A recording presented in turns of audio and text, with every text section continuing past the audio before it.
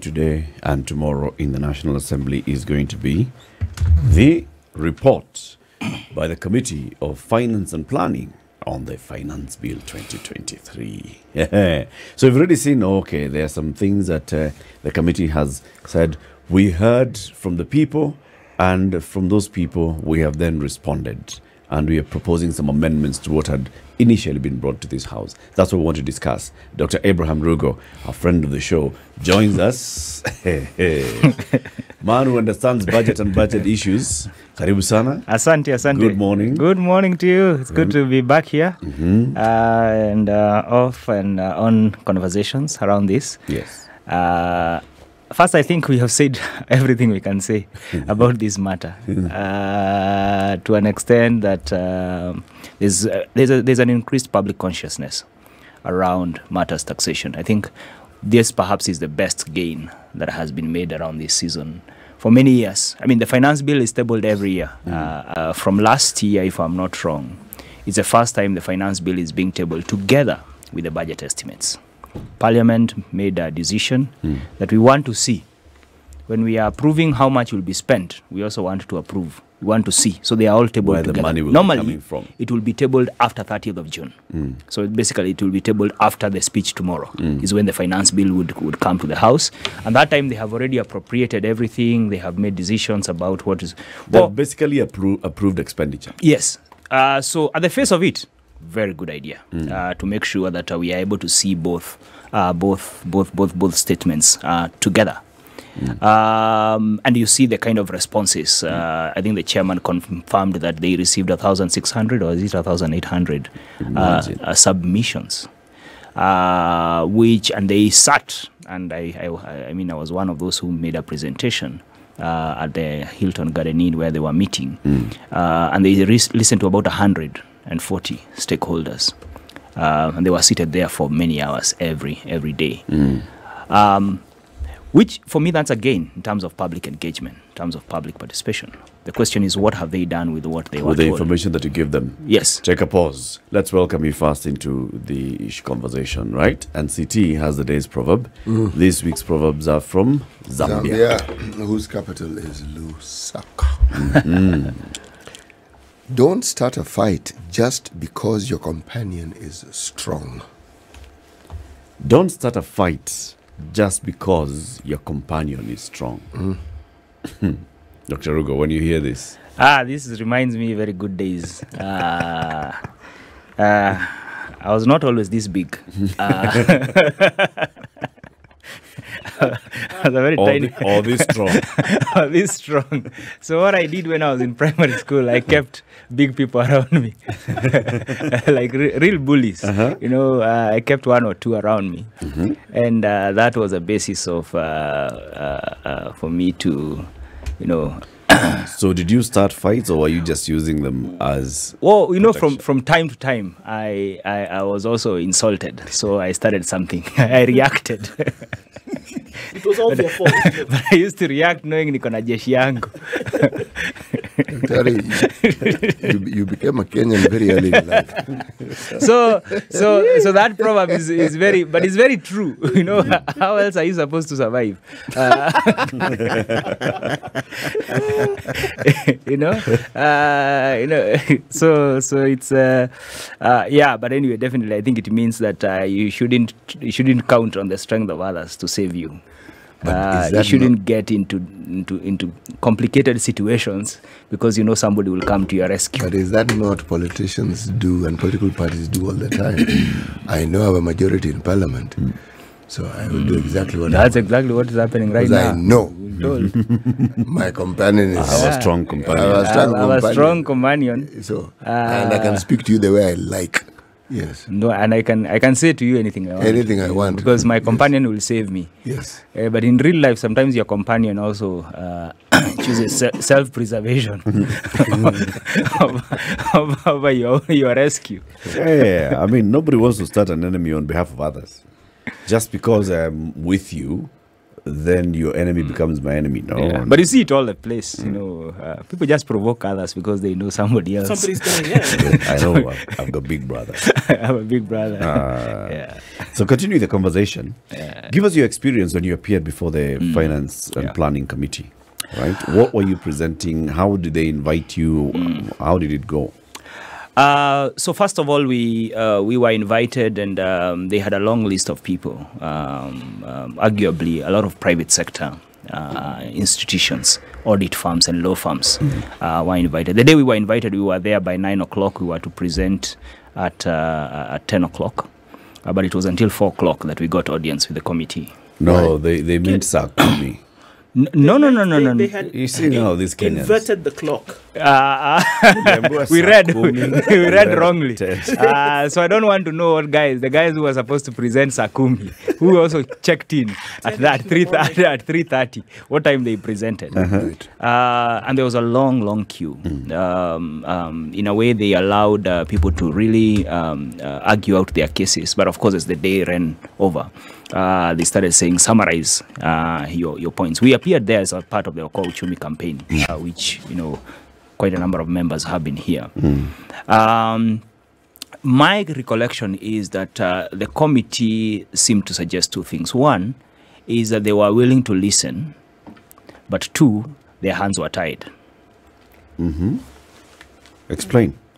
Uh, when they said their hands were tied, uh, they, they basically were trying to say, you see, the kind of situation we are in, in the, as, as a country, uh, these things, are you not looking at the positives? And I see the language, uh, the language used in one of the statements that uh, uh, the, the, the, the- chairman gave, you know, talking about the negative impact of retaining VAT at 8% outweighs, you know, the positives. So, so, so, so almost it's the same. It was the same language of you guys. Don't you see these things? Can't you see the struggle? Uh, So they were trying to basically, like, you know, as you are engaging with you, they're trying to justify precisely. what's Which- contained here. Yeah, yeah, which which I, which I thought was uh, perhaps uh, uh, you know in in the spirit of deliberation, I think it's a good thing. But in the spirit of listening, I think uh, uh, uh, it perhaps didn't come out the way it should have come out. Because uh, it almost came out in the same language of hii kitu ni mzuri, this thing is good, and you should just accept it. And you see, it was also coming at the background of, of, of it will pass without even changing a comma or a full stop. You know? Um, and um, I- I- for me that was not a surprise because i have been in this space for now 16 years uh, from the days of the institute of economic affairs. And we've presented a memorandum literally i think every year that i have been involved in this work we have made i've made a submission in one way or another. Some have been completely ignored and, and i say ignored because i don't know what is done with it because we never get feedback uh, uh, uh, from. But the fact that this was an open forum that even other we, we sat in their presentations of other other other Kenyans uh, and, and organizations. For me, that was a was a good thing. One thing I I really hope can happen in the future can this be actually be done in a public space and live, so that Space so that like, like what exactly? like for instance, do it even somewhere like KICC where everybody can come. You know, uh, They also did the KICC session, didn't they? the KICC sessions are neither here nor there uh, because really it's more presentations than listening. This was a good time to, li- to listen. But two, in this day and age where technology is good, it doesn't make sense for somebody from Mandera. Of course, there were constituency conversations, some of which were open, others which were fairly closed, because then the MPs of those constituencies decided this is the time for my people to say their issues to the national government. Some even tried to lock out, you know, uh, people from other constituencies who are coming in, and they were saying no, no, no. But there are people are saying no, no, no. But this is a national conversation. It's only that is is been selected to happen in these 16 counties and in this particular uh, uh, uh, space. I still believe that there is room for uh, a national conversation on these issues uh, uh, where anybody who wants to make an, an input can make an input. Technology allows that. Uh, we saw during COVID, technology does allow that. We, uh, where I work at the International Budget Partnership Kenya, we've been able to pull that kind of a conversation. Um, so, so it was really everybody saying everything uh, to the committee, and at one point I wondered, um, you know, how much of this uh, uh, was really being absorbed. Uh, they have a very good chairman uh, who understands the issues, um, and um, uh, but also also tried, as I've said, really tried to justify To, you know, why why things are trying to explain it. right? Uh, yeah. Did you get a sense of unanimity with the committee members? Like, were the committee members speaking the same language? Not quite, not quite, not not quite. Oh, And it's difficult, of course, to know at the face of the conversation. But as you talk to them uh, differently, I think uh, many are as they listened on, they were coming to appreciate. Hey, by the way, this thing is not what we thought. Of course, there are those who are on very strong party line that we know this is what our party, this is what is going to give our party success. Yeah.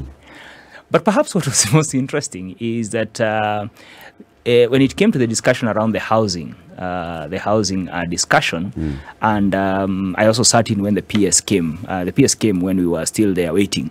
He's actually responsible for why we delayed and waited longer. Uh, that's a story for another day. Uh, but one of the things he was saying, he was saying, but look at how this housing will help your constituencies. You know, they are, we are planning to build houses in every. This is the first time I heard it clearly that they were planning to build houses in every constituency. It was no longer even Every counted. Doesn't count. Every constituency, 290 of them. You know, and uh, that was that was new because that had not been in the conversations. Initially, it was counties that were donating land. Uh, uh, uh, to to and, and, and that seemed to be an appeal to say MPs our issues are also, your issues are also taken care of. You know, we have taken care, uh, and, and and so that that was what what was so. So I think the reality of the situation we are in as an economy was coming was coming to bear, uh, and you could hear some of them starting to say, perhaps maybe we could have thought about this in a different way. Perhaps there are things we can delay, Okay. um, because that's what if I'm not wrong, and I can't recall who said this, that about 80% of the people who made submissions uh, were disagreeing. Of course, some some in, in, in phrasing said they reject the entire finance bill. Of course, that is wrong because there's nothing like a finance bill. It's clauses, it's different clauses. You cannot reject the entire thing. You know, uh, you need to, because there are some things that are good. you know, in, in that, that was my sense. That's what my take from the conversations. Okay.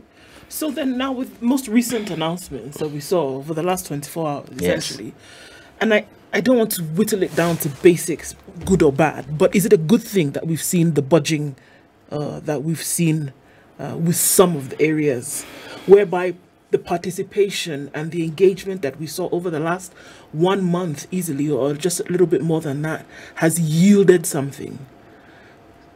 Yeah, um, I, I, th- at the face of it, it's a good thing. At the face of it, I think it shows that yes, somebody is listening. But the question is, what are they listening? Uh, uh, what kind of uh, uh, badging? Let me use the one that I have heard very straight, uh, which was even confirmed by uh, uh, uh, His Excellency Musalia Mudavadi yesterday in a meeting where I was. He said, "We have listened to the people and we've agreed that this housing thing will be 1.5 percent." But the conversation was never about the percentage. It was that it's there at all. That was never the conversation. We were not saying that we like this thing, but Mali Tuko, It's we are too so much. stressed. No, no, no, no. That was not the conversation. What was the conversation? The conversation was what's the problem you're trying to solve? Okay. And the problem, if the problem is people who have no incomes getting housing, then are you asking those who have incomes to subsidize? Which is a language in NHIF. Mm-hmm. The NHIF language is very clear that uh, you pay according to your income, 2.75 2.75% of your gross income. That's a very, and that is very clear. It's social health in, insurance. You know, so basically you are saying those who have pay Also support. to also support, Those for those, who, who do who do not have because it does not mean that if I pay more, I will consume more You'll get better service. or get better. I'll get the same service depending on my sickness. Yeah. But here is, on one hand, you are saying that uh, uh, the people who don't have housing are those without incomes. But the people you are charging and you are, you are causing to pay for this scheme are those who have incomes. But do and- they have houses? Sorry? But do they have houses? You have not asked them either. You cannot determine that they don't have No, houses. you, have, you have asked them in a sense as you have all, you have data. You know Precisely. how many people own homes and how many people have income. So if you go back to the numbers, and uh, the, the the numbers that were used even in one of the meetings were 2017 numbers. Now we have updated numbers. We have, you know, uh, we have, uh, for instance, the census of 2019.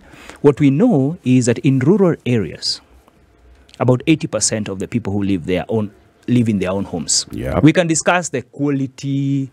We can discuss the different other mechanisms. True. In urban areas, it's about 20% of ownership. Mm-hmm. But that is not equal to the number of people who don't live in a house. Yeah.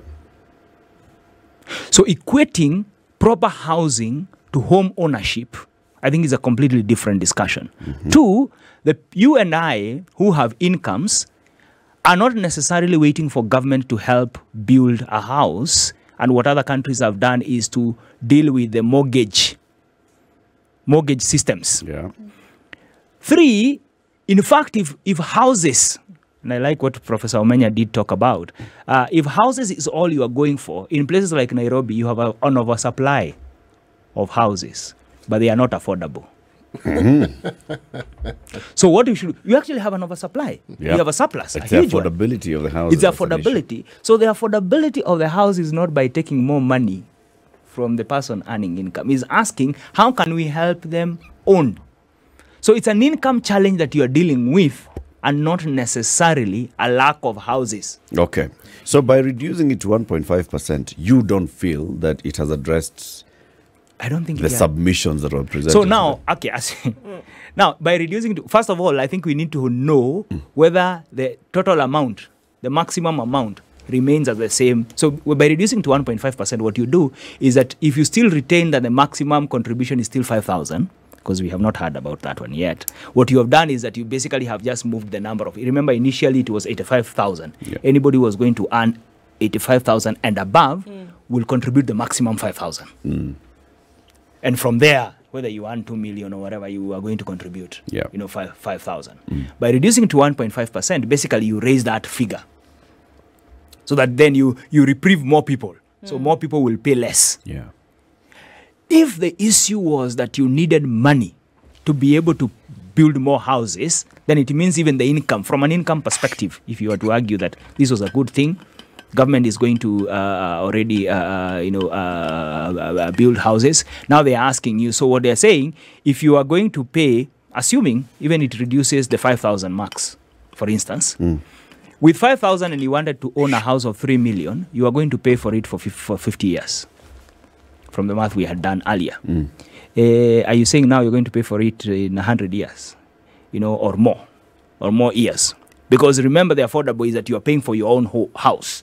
You are paying to own it. Yep. Actually, You're not being, rent. you're not necessarily being not, not just paying for it. The mode of payment is equivalent to the rent that you paid. It's rent to own. Yes. So, but the question that I want to ask now, the, for, this is my take on this matter. You rightly put it when when you say that they are trying to solve a problem that hasn't been identified, and I'm in agreement with you because did they bother to find out how many Kenyans actually want to own houses? Yeah. Did they bother to find out how much Kenyans are willing to spend in order to own a house if they want to? Or better still, did they bother to find out what Kenyans think about housing and what it is they feel that ought to be the way forward? Unless we're assuming we know better than them and we can suggest to them what it is that they want. and the numbers being used, at least the numbers that are piercing, and, and, and this is where I say this idea has not been thought through.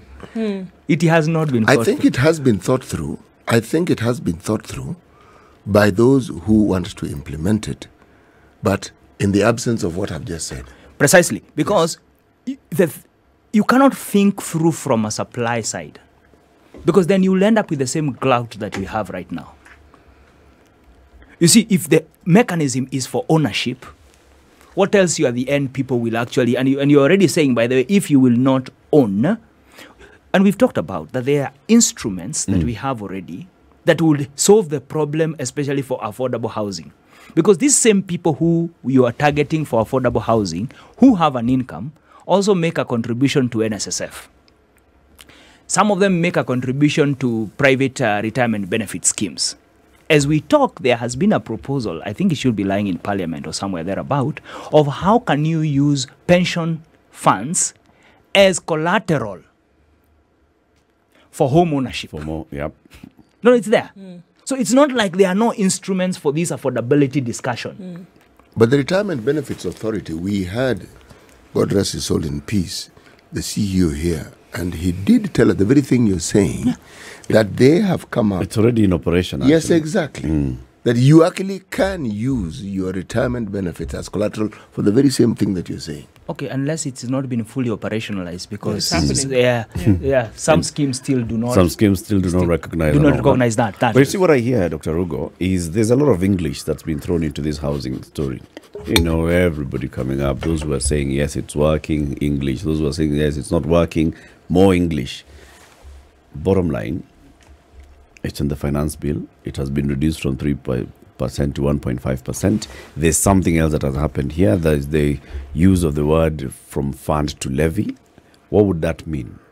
If we stopped saying that this is a contributory scheme fund, a mandatory f- contributory fund into a levy, what would what First of all, dynamics would the language all along has never been anything to do with a contributory scheme. Mm. If anything, that's what people have been pushing for. Mm-hmm. They've been saying, if this is for my good, let it be made a contributory scheme. Let Voluntary. willing, voluntary, willing buyer, willing seller. You know, What it- I what it go in. It's a mandatory contributory scheme, just like Somebody NHIF. called it. Uh, somebody called it a national chama. Uh, Just like NHIF. You know, just like if if you were to argue from the point of a levy, a levy is is is is is charged on somebody who is consuming mm-hmm. that good. Mm-hmm. Yeah. So technically, at consumption. at consumption. So technically, if you're going to make it a levy, then you have to have assured me I am actually getting the house. So it cannot start with speculate. I cannot speculatively. Mm. It's not. It's not a gamble. It has to be that I am assured. I and therefore what I'm being. It's like an off-plan arrangement. Yeah. It becomes an off-plan arrangement that I'm actually paying for the construction of the house That I will eventually. that I will eventually. So I think if that's a language, which I think is what people have said, you know, uh, and, and, and then that, because if you think about all fuel levy, it's basically by the person who consumes. You know uh, that particular, uh, you know the the toll charges. You know uh, all those are levies. You don't pay that levy if you don't consume the fuel. Precisely. Yeah. So, so if that there's a language that has changed, perhaps is a good thing.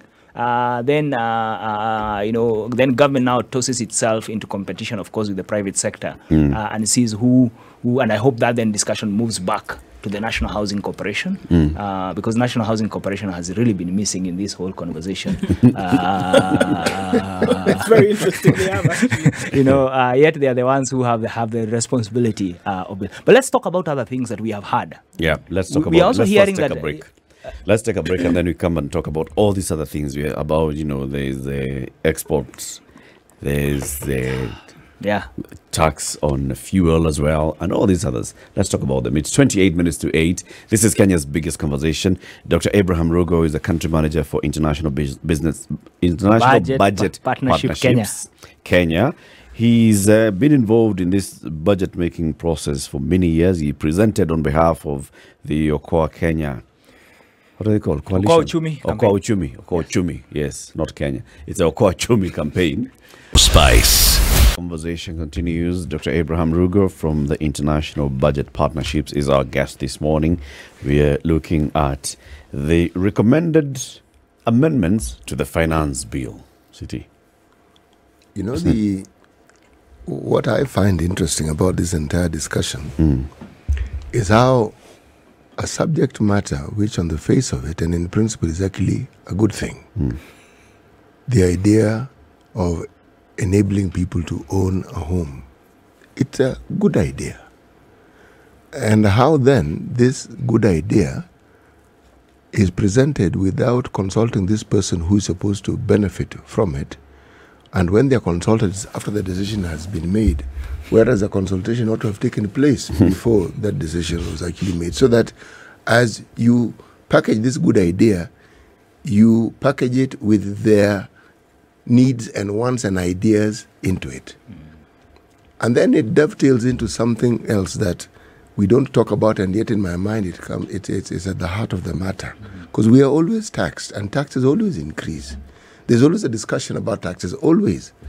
For the first time, most Kenyans are learning that every year there's always a finance bill. They think this is the first time there's a finance bill, and many of them are rallying against saying, "All these years we haven't had a finance bill. Why are we having a finance bill now?" It's always and, and I've been told it's always there, just that you don't get to hear about it. So, it then I then have to ask the question. So, okay, so what are we discussing here? And the discussion around trust comes, in my mind, to the center of it. Mm. And I ask, if there was more trust, would these debates would be as heated as this? And the answer, I think, is no. Yeah, and you see, and the trust would have been a factor of what you have seen in the past. Hmm. I don't, I don't think the trust deficit is because Kenyans just don't trust. No, It's no. because They, have been given reason not hope- to trust. Yeah, no, no, very strong ones. Uh, and uh, hopes have been dashed. I think that's what has really heated this discussion. Uh, because we have had, uh, uh, you know, schemes, conversations uh, where where this did not.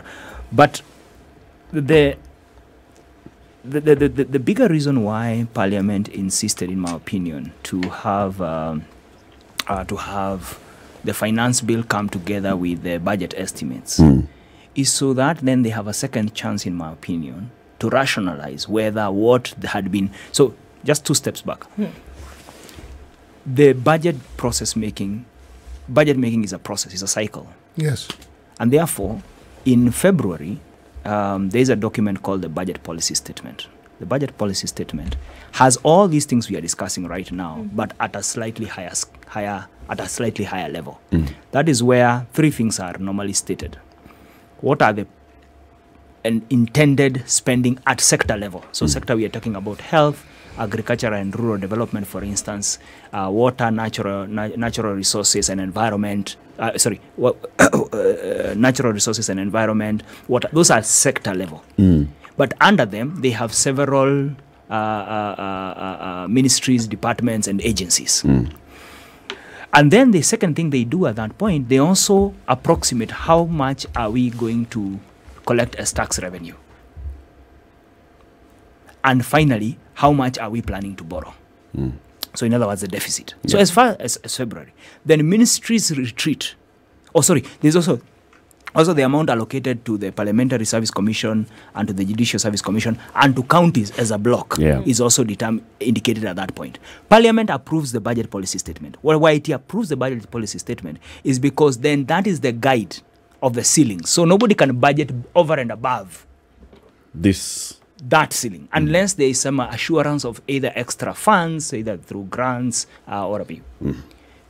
So when they bring the budget estimates and the finance bill, what the finance bill basically is saying is that we committed to raise 2.5 trillion yes. Kenya shillings in the coming financial year. So the finance bill then says, what are we going to adjust so that then, first of all, we raise what we raised last year. And that's why the finance bill is an amendment of different acts mm. Income Tax Act, VAT Act, you know, uh, Excise Duty Act, and other miscellaneous laws that I have to. Uh, uh, uh, you know, uh, to, to, to, to, to, that they require raising money, money, money for, uh, and therefore that's at, the, at this particular point then parliament is and you had the discussion the longer discussion yesterday in parliament it was they were actually approving the estimates of expenditure Yep. and you had how it goes it's line by line Line item. per line, item, by line item. So of course at program level, they, they don't go into the very, but they they are at program level still slightly. But and when you go under that, and we are, we do analyze, it's I think a two thousand something page document, uh, and, and on Excel or uh, sorry on on PDF. They out and Parliament has to, but Parliament is not lost to the fact that should not be lost to the fact that as they do that, they are actually also discussing the raising finance raising measures. Yeah. What's my point? If it's already clear that you're not likely to collect what you hoped to collect because you have seen certain things improve uh, de- developments in the economy you've seen how the export market looks like you've seen how the import market is looking like uh, you've seen food production and what that entails you know the supply and, and what have you. And it's clear that now you're not likely. In fact it was interesting because the two committees were sitting in the same on the same floor uh, the Budget Appropriations Committee was sitting in the next room, and the Finance uh, and National Planning Committee was sitting in the next room. And they were, of course, sharing. They were saying, "What are you?" They should be asking, "What, What are you seeing? hearing?" What are you hearing?" So it's an opportunity to actually also address the expenditure side. So government cannot just make a claim that the only problem we have is a revenue problem. Our expenditure is rationalized. We are good. All we need is Kenyans to He give us to raise the money. Kenyans raise the money. And by the, the extra money we are talking about is that we are talking about raising an extra 400 billion. Our target for this year was 2.1 trillion, 210 shillings. I like to use numbers we all can relate to. The target for next year is 250 shillings. So the amount that the finance bill is trying to plug, and that does not include the fina- the housing. And I still, I'm very curious why this housing fund found itself in the finance bill. Uh, um, uh, Where should it have found itself? This is a miscellaneous matter. It's, it's, it's not a It's, it's, not a revenue raising it's not a revenue raising measure because it's not it's not uh, the uh, monies you're collecting from it are not contributing to what is budgeted for. Unless the whole plan all along and then going by if the chairman of the finance committee did not have a slip of the tongue last night. He is quoted to have said that now they have thought about it and now made this fund because people asked for it to be. Now it's become a tax. It's confusing. If it wasn't a slip of the tongue, we'll see the report. We still haven't. We are waiting for the report. I really want to see the He actual. tabled it last night, the but we'll see the- it. I'm looking. I'm waiting to see the actual, and it's good we are having this conversation because I think uh, the actual wording, Mm. because the housing fund and the projections thereof, I have not seen them in the budget documents in the way it's being framed Mm. because it's talking about if you do the math based on the initial figures I'm here to do because I don't know how much is the total, the upper limit of this 1.5%. But if you worked with the initial 3%, the government was projecting collecting about, putting into this fund about 100 billion per year, 108 billion, um, assuming everybody pays. You know? Uh, so you're talking Where about everybody here is who exactly? all the uh, salaried individuals. So including my farm worker who received a, who receives a salary from me. Well, if they are registered in tax, they will pay. You will have to contribute. Uh, First, you need to contribute your part. As you employ, As an as the employer. Uh, I hope you submitted a memorandum uh, because you are an employer in that in that case. I mean, for if you work argue it out that way, of course, Yep. majority I think the people being targeted are those who make tax returns. The three million individuals who, who make tax returns. Uh, that's a story for another Another day. for, another, for another day. Dr. Rugo, we've said, I mean, often that uh, it's been months, it's been weeks really of confusion. And that if something um, that is true, if something is true, it is not very difficult to explain. Yeah, and you don't need to remember. and what you said. don't need to remember what you said.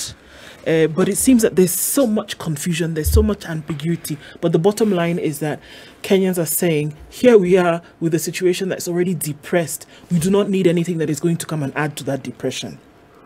So essentially, with these um, concessions that have been given on the finance clauses of the finance bill yesterday, have we seen this needle move in any direction? Really, really, um, we can say there's a reduction from three percent to one point five percent. We can say that some things have to remain because of one, two, three. Have we really seen that this needle has moved at all, or are we still where we were on Monday?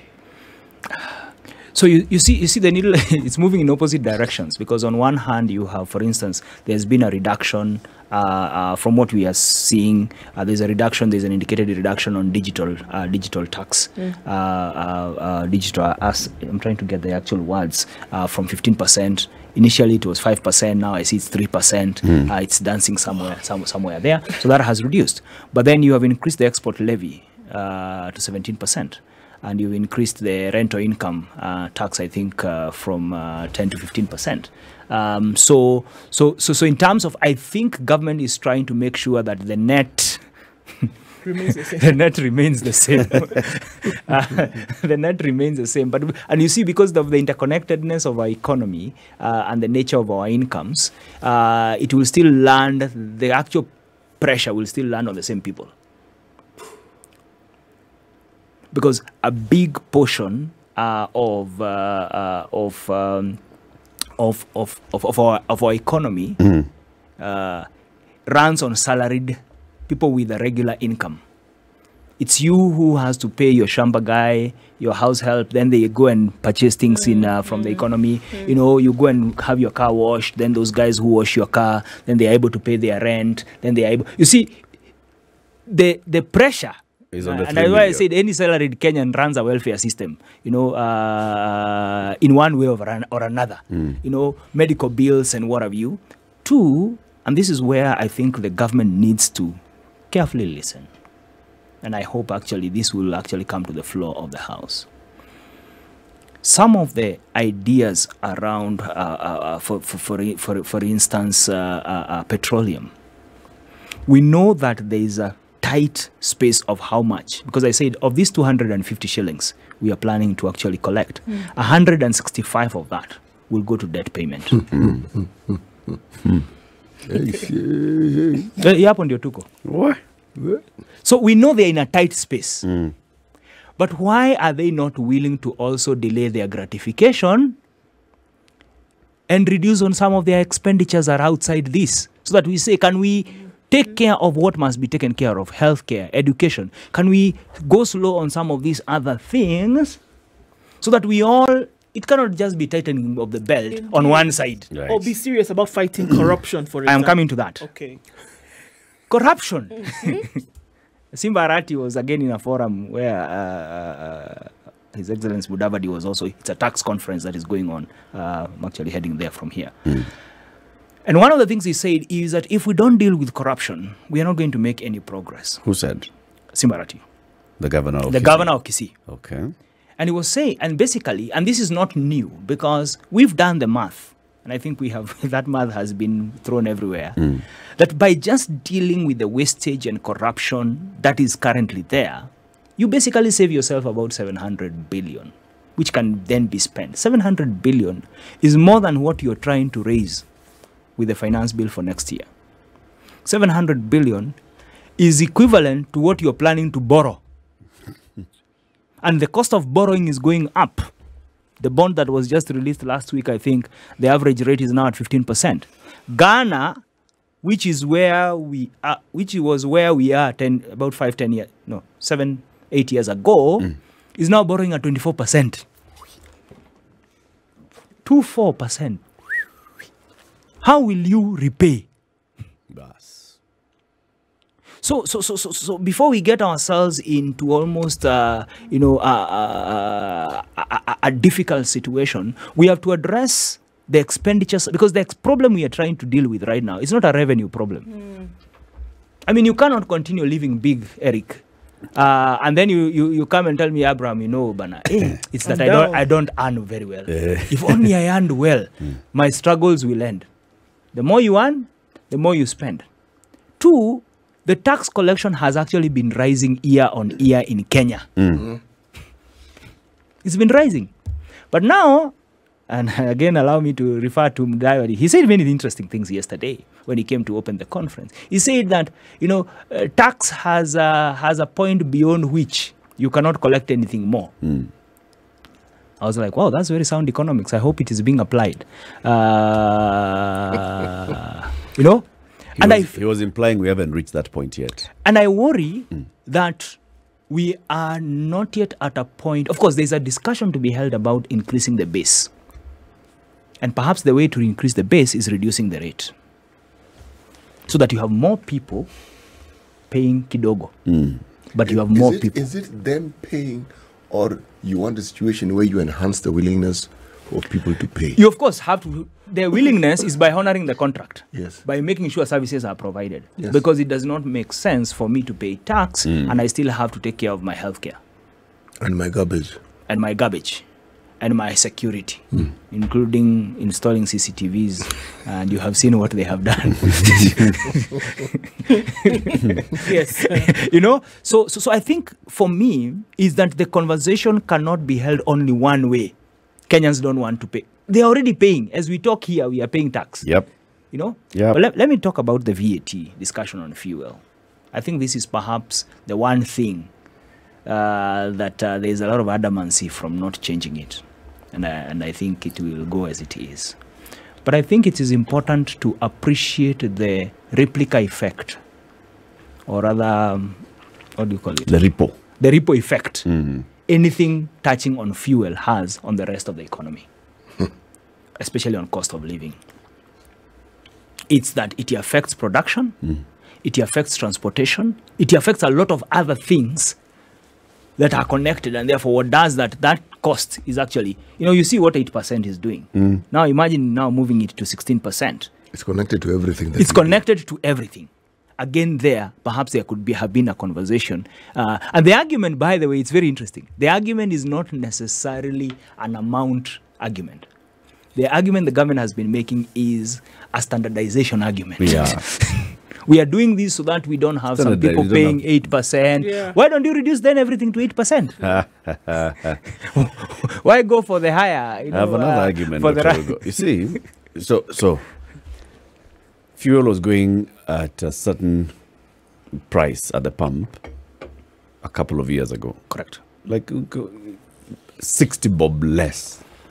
A couple of years ago, all right, it went up, and we still continue to consume. Mm. As it was going up, the cost of living has gone up and everything, mm. but people have adjusted. Mm. So you, as a government, just consider yourself OPEC and increase the price by an extra 8%. At least you collect that. People are still going to consume. But how much are you collecting? 8% more. You know, those who understand these things, Eric will tell you, there's what they call a point of diminishing returns. You get to a point where We haven't reached that point.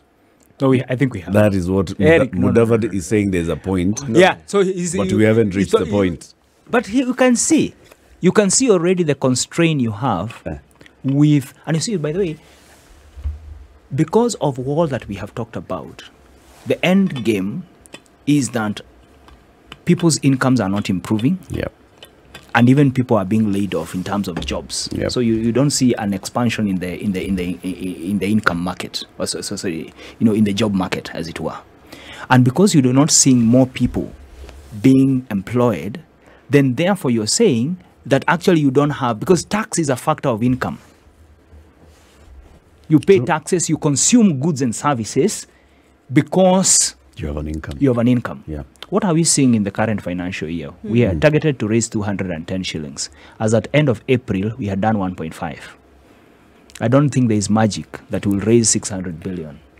Uh, next the extras, not in the we next will not hit our target. will not hit our target. Okay. Then you say, no, no, no, no, you guys, Let's increase the target. Let's shoot this thing by another four, 500, for 400 billion. In essence, if we raise 1.8 or 1.9, in essence, you have raised your target by another 700 billion. Yep. Eric, 700 billion is the amount you would save by dealing with corruption. But let me ask you this question, Dr. Aria. You know, we keep talking about incomes, the raising of incomes, and yet, in my mind, the discussion ought to be the value proposition that that income represents.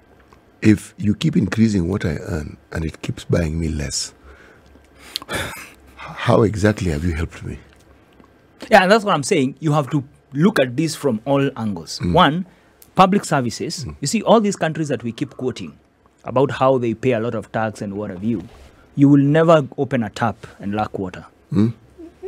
I studied in one of them, and uh, we had a blackout once in four years when I was there. Once. Once. How long? Uh, and it lasted five seconds. There you go. And it was announced two weeks before. You were told. We were told. There'll be a blackout. on this day there will be a power interruption because there is something we are doing and it will it, it varied it was not even more than a minute per se Hours, i think we only noticed it for like five five or so seconds you know it wasn't long the point is at no one day and when i talked to my colleagues who we were doing my, phd together with when they told me some of the taxation levels, when they put everything together, it was coming to about 42%. You know? Um, but there's no day the bus was late. There's no day garbage was not collected. Public services. Public services are functional. Yeah. And therefore, in a country like that, they complain, of course. You know, I mean, it's Germany, so they complain about many things, including the bus is late by by, by a couple of seconds. I'm like, at least bus. it's coming. At least there's a bus. There's a bus and it's gonna come at the end of the day, but you don't have to make noise, you know, because the thing has passed. well, I found some of their problems very, very, very unrelated, Very interesting. unrelatable. then I came back to Tom Mboya and I knew I was back home. Uh, but the point I'm saying is that you cannot make a case only for revenue mm. if your expenditure is not providing for citizens the goods and services mm. that they are expecting. That actually is their right and uh, the very reason why they pay taxes. Precisely. Mm. Yes. Precisely. And if that does not happen, then of course, then there are other things you will have to deal with, including the cost of food.